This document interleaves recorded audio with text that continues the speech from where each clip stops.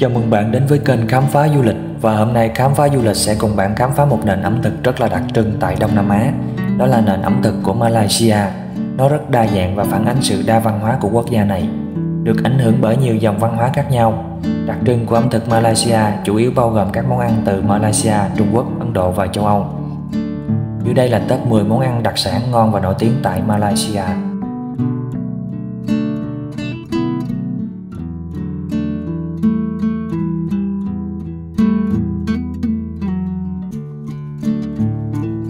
Món ăn đặc sản đầu tiên tại Malaysia mà du khách phải thử dù chỉ một lần đó là nasi lemak.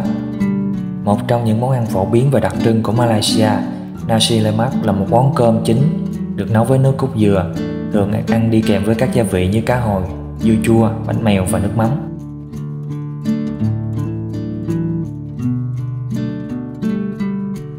Món ăn đặc sản thứ hai đó là satay, một món ăn nhẹ rất nổi tiếng. Satay là thịt nướng trên que, thường ăn kèm với nước sốt dưa leo và đậu hũ.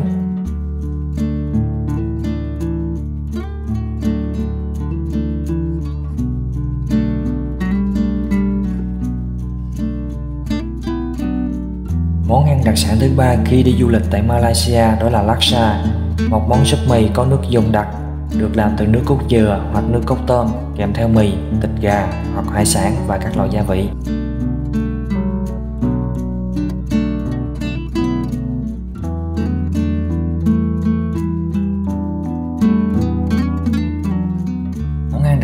Tư khi đi du lịch tại Malaysia đó là Hainanese Chicken Rice.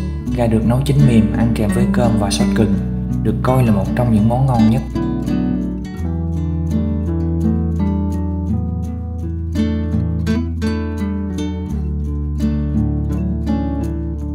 Món ăn đặc sản đặc biệt thứ năm khi đi du lịch tại Malaysia đó là chow white tails, một món mì xào nhanh với hải sản, xúc xích, bún và một số loại rau sống được chiên nhanh trong dầu nóng.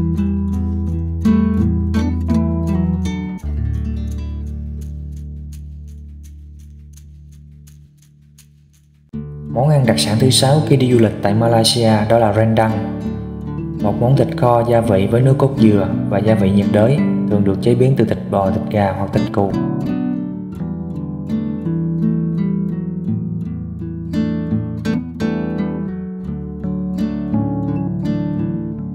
Món ăn đặc sản thứ bảy đó là mì goreng mamak, mì xào với thịt, hải sản, rau sống và gia vị, thường được chế biến theo kiểu mamak, một cộng đồng người Ấn Độ Hồi giáo ở Malaysia.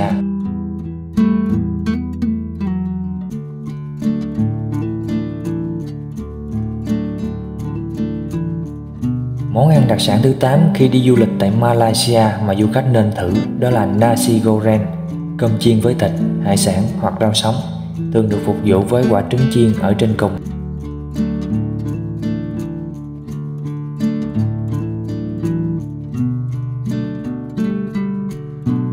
Món ăn đặc sản thứ chín khi đi du lịch tại Malaysia đó là roti canai, một loại bánh mì phẳng và mềm thường được ăn kèm với sốt dầu cá ngừ và dầu sambo.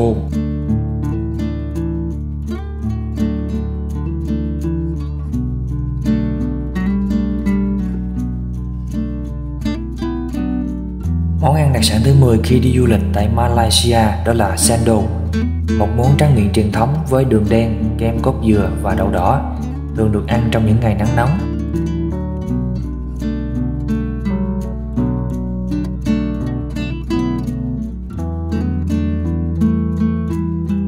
Bên trên là top 10 món ăn đặc sản ngon và nổi tiếng tại Malaysia.